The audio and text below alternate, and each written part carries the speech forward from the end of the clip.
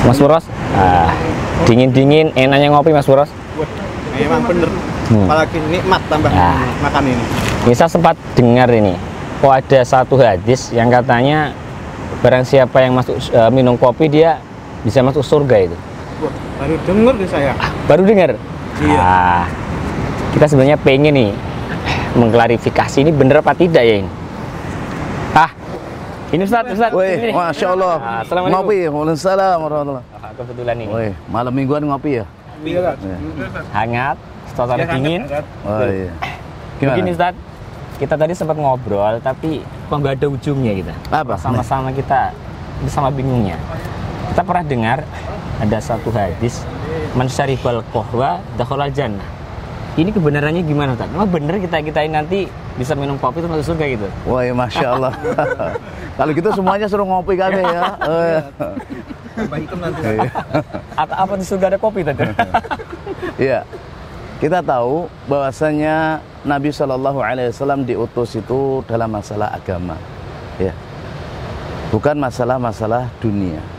Dan di zaman Nabi emang ada sudah ada kopi? Oh belum ada. Ada belum?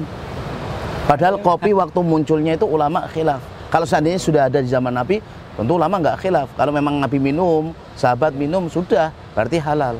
Tapi awal munculnya kopi, mereka khilaf apakah halal, apakah haram. Setelah mereka tahu ternyata kopi adalah halal. Jadi hadis yang menyatakan man syaribal qahwa summa mata jannah barang siapa yang minum kopi kemudian mati masuk surga itu hadisun maudhu rawahu baiul qahwa yang riwayatkan itu penjual? Penjual Jual kopi.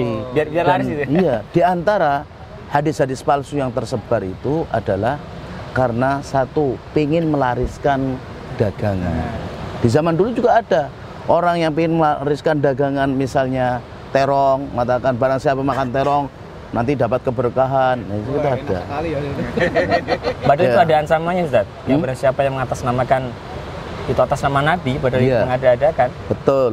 Jadi kalau ada orang yang dia berdusta atas nama Nabi, dia tahu atau dia pura-pura nggak tahu, maka dia nanti siap-siap ke di neraka. Kata Nabi Shallallahu Alaihi Wasallam, "Man kadzaba alayya muta'ammidan, falyatabawa maq'adahu minan nar."